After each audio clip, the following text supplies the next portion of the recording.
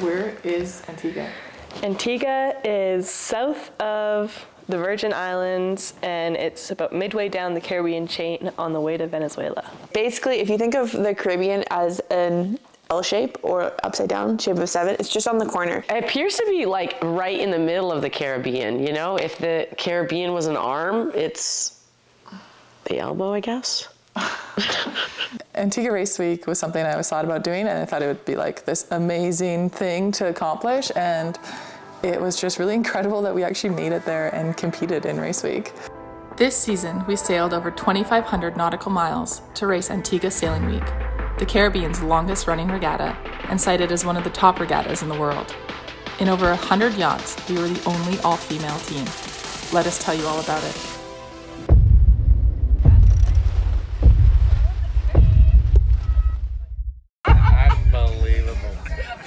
All gonna die.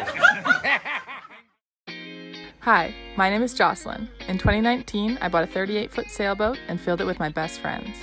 We named her the Belafonte, and together we're sailing the world proving that ordinary people can do extraordinary things. This is Sea Sondering.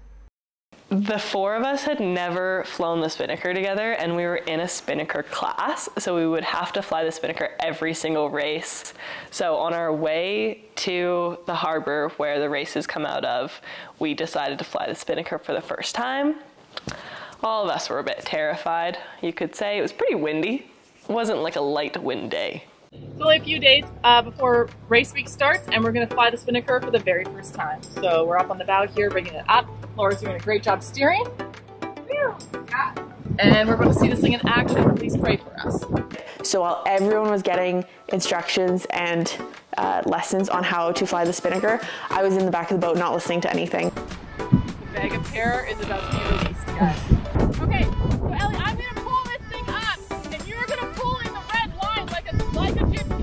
Teaching everyone how to fly the Spinnaker the, pretty much the day before the regatta started was a little intense.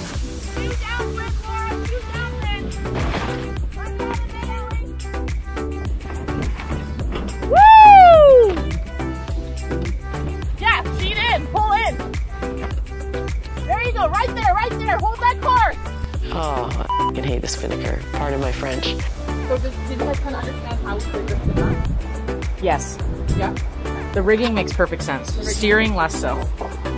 Release. There, hold, hold. There, there.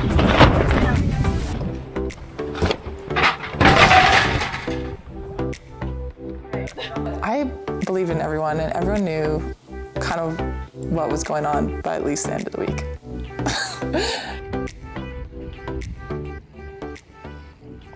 We had spent so much time and energy just making sure we got to Antigua on time with all of the boat fixes that we had to do that by the time we got there, on our list of things to do was like, oh yeah, none of us know how to race a sailboat. And then the day before the race, you know, I thought it would be a, probably a good idea to teach the girls like what a race looks like. The lessons of learning were uh, received while hungover incredibly and perhaps less than might have been needed. The first thing you should all be thinking about every time you leave the boat, Laura, eyes on me, is wind. which way the wind is coming from. At all times of day, no matter where you are, you should know which way the winds are coming from. Okay. What if it's like a cyclone? So questions from the crowd. Um, A regatta is made up of several races. In a typical sailing race, there is a start line and a course set up with floating markers. The start is a five minute countdown where all the boats plan on crossing the line right at go. Then everyone races around the set course to the finish line. Different boats have different handicaps based on their size and speed, so you don't always know what place you finish in until the results have been posted. Clear as mud? There was definitely more learning on the job than any other type of learning.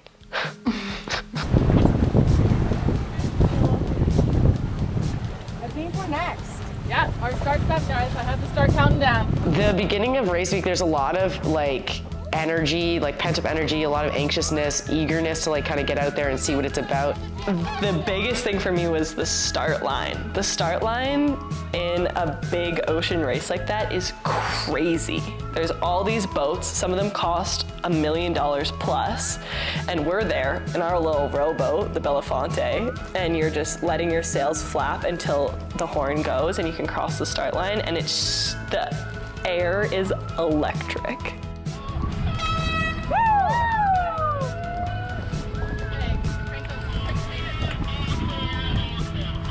Crank the main out.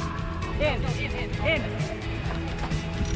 We only had a crew of five, so we all had lots of roles, but my main role was uh, grinding whenever we tacked. Uh, me and Sarah would do the winch handles and we would tack um, and we would haul the lines. Laura and I had never even sailed before coming on the Belafonte. So to then all of a sudden be in an ocean regatta, which people like train all year to be in, was quite shocking. Laura, do you know where the tack line is? Uh, it's got it on the ground. Yeah, tighten it.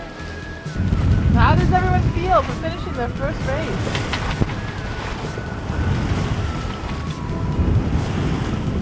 We're definitely overboard. We could do a whole circle.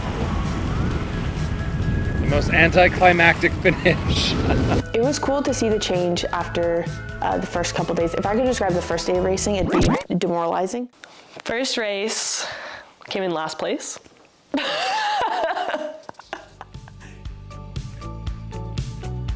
So basically what race day looked like, they're about 20 hour days. You wanna get out on the water by 9 a.m. and the race starts around 10, 10.30. Sometimes it'd be beautiful, sunny, hot, and there were other days where we'd like hit squalls and there was like pouring rain on top of us for like 20 minutes.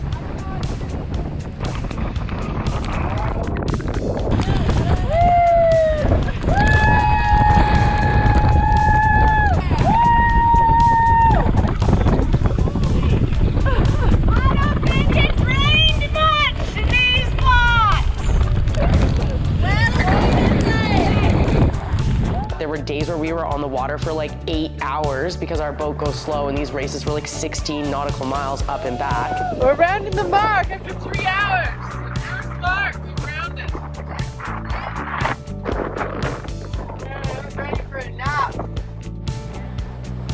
Often we are coming in between like 3 and 5 p.m. And by that time the party's already started. So you immediately go from spending the day racing to going to the awards like ceremony of the day.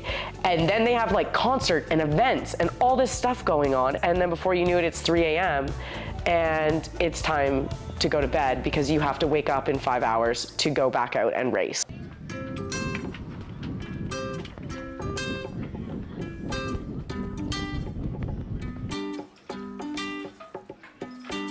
Um, today we are racing for our third day. Very excited about that. Yesterday we came in seventh, which is up from last. Today, maybe sixth. Okay, so it's day three of races. Um, we're all a bit tired from racing so hard yesterday. It was a five and a half hour race yesterday. And so we're just leaving the harbor now. We're gonna try and throw the sails up in the harbor where the water's flat because yesterday it was quite rolly out there. And um, yeah, just power through today. We get a day off. So we got seventh yesterday. We're just trying to move up.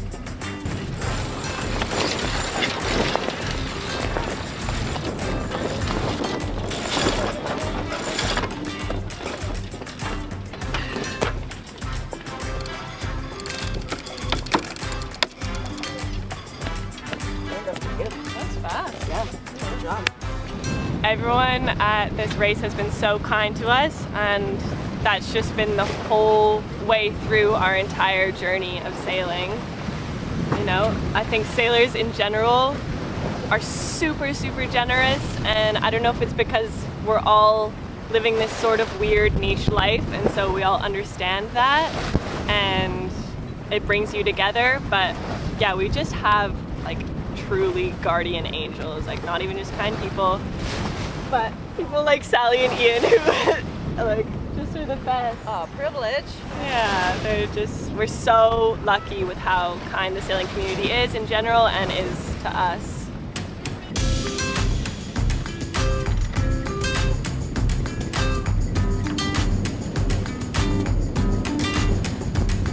Since the fear of death meeting the excitement of living right on the edge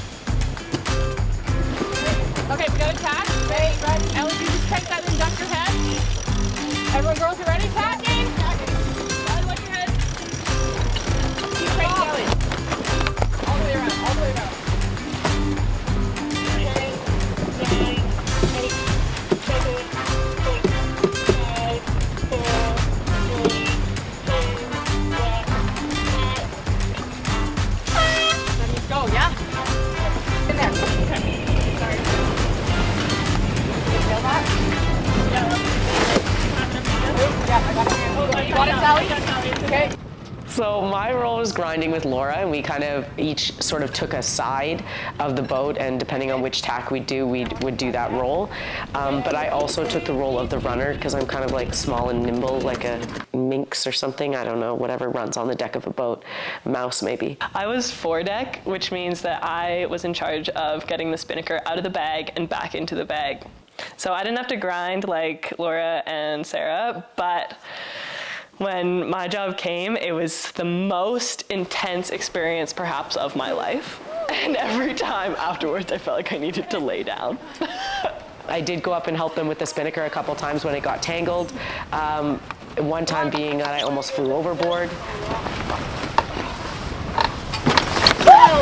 Yeah, I got you. Thank you. okay? Thank you. Yeah, I'm okay. I'm okay. Okay, okay. Sorry, Sally. That was vagina in the face. What's he talking? I think it was caught on something, And it freed itself? and it might have freed itself. Okay. We had an incident where um, the sock that held our spinnaker, the line broke on it, and we had to sail it. We, we realized we were going to have to fly it without the sock, which I had never done, and I was pretty terrified of. And I told Jocelyn I didn't want to do it. I didn't want to fly the spinnaker anymore. And she basically was like, I'm here. You have to do it, and I know you can do it. Someone look up for her. Almost, still going.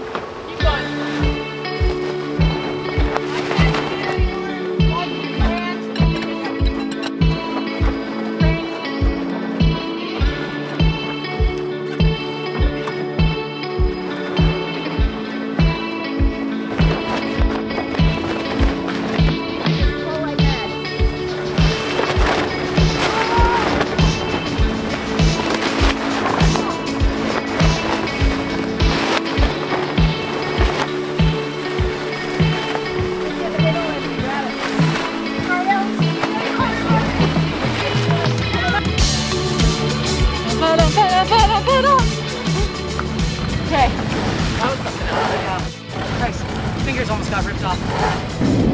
Spinnaker's quite a stressful experience. I hope one day my family sees this footage and is proud of me. Glad I didn't die.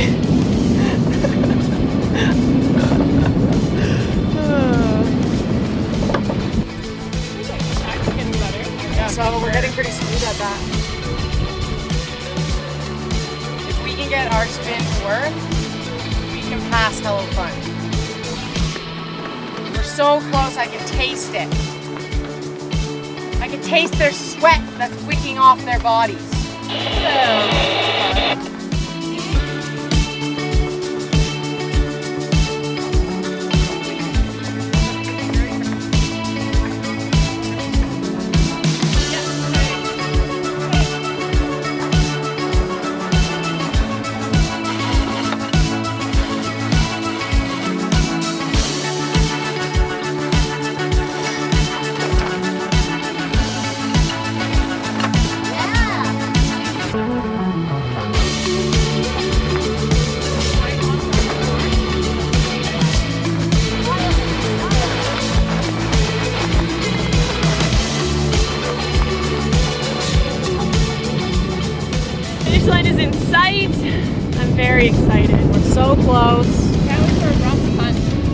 Excited to get back. I feel like today was the first time we kind of raced really, really well together and we raced like professionals. You guys are really close to shore. Okay. Okay. One right Look, there. I, Odd my, literally my fingerprint has been rubbed off. Oh yeah. You've lost your identity. I've lost my fingerprint. It's like you work at a pineapple factory. We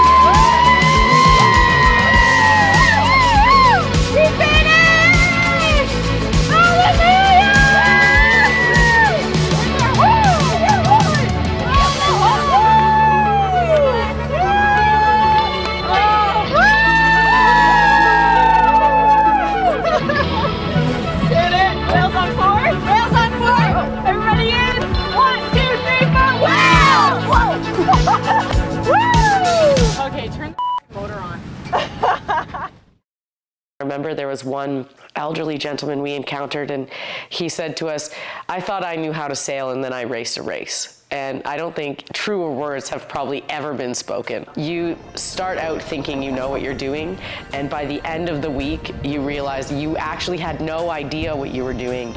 But now that you've done it you kind of have some idea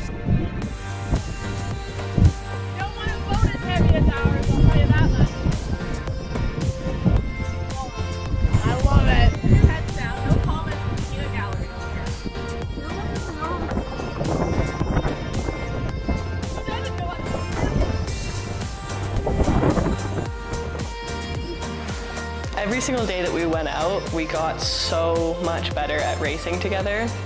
We just got tighter and quicker and more efficient, and it was amazing to watch how good we got, honestly. and the most amazing thing about racing like that with the spinnaker up is that when you're going downwind and you're going fast and the spinnaker is perfect, the boat is humming and it's it's intoxicating.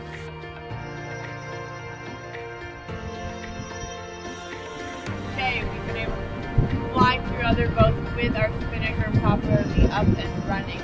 Each day we got better at charting out our course and sailing, and the girls got better at tacking, and, and we got better on the start line. And it, it, like it just felt so good to be constantly progressing. Like it just it felt like a Disney movie, which is like so corny, but it did. We started out like pretty bad, and by the end of the week we were moving like a well-oiled machine, and everyone knew what they were doing and they were confident.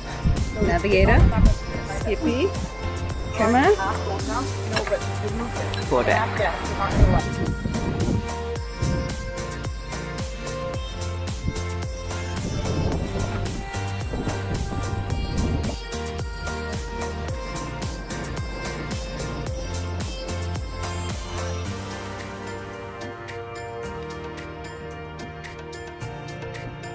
I didn't expect to learn as much as I did, and I didn't expect to come out of it with like the amount of knowledge and confidence sailing that I do, do have now because of it.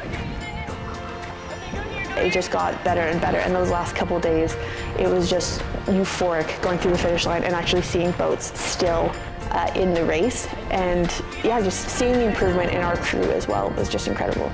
Want this, Sarah?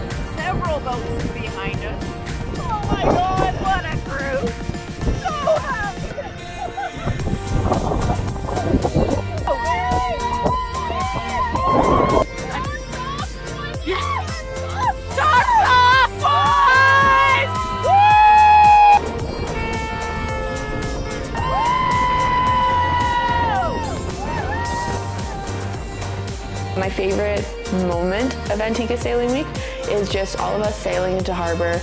Uh, we're singing at the top of our lungs, just dancing on the boat like we always do, just because we felt so good about our race.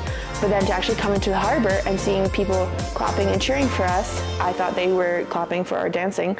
But no, it was because the results had been posted and we had gotten first place. We just won our last and final race by 19 months.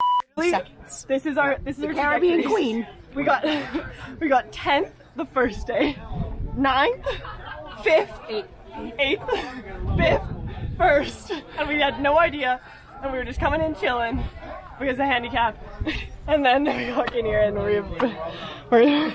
Well, people will say you won, and like, yeah, no. How do you feel, Sally? I am so impressed by you guys. Oh. you guys. Ah. You rock. We were really happy. It's a Disney moment. Disney moment. Yeah, you're gonna be This like- is what it's all about. Oh. Where Oh. is Patrick? Where is Patrick? Where's up? Stop it! Stop it! First place from Canada, Jocelyn McLaren and Belafonte. This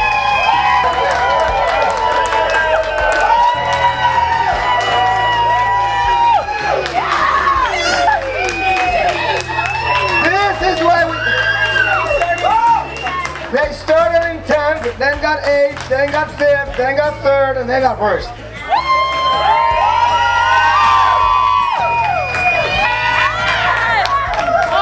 This is the reason we have club class, and this is the reason we do daily prize givings. I love it. It means a lot to everyone. It, it means a lot to me, really. The race committee for staying out with us on the water all day long. And All day long. Everyone, the organizers for putting this event on. It's amazing. And everyone for coming out and sailing with us today. Thank you so much. Well said. Winning anything is amazing, but winning something that you never thought you'd ever be doing in your life and that you also never thought you'd be able to win at uh, is amazing. There was an award for Best Female Crew, and we actually won that. At the end of the week, we got to big, go up on the big stage and receive that award. And that was just a, a really big moment for all of us. It was really nice to be able to represent women in our team.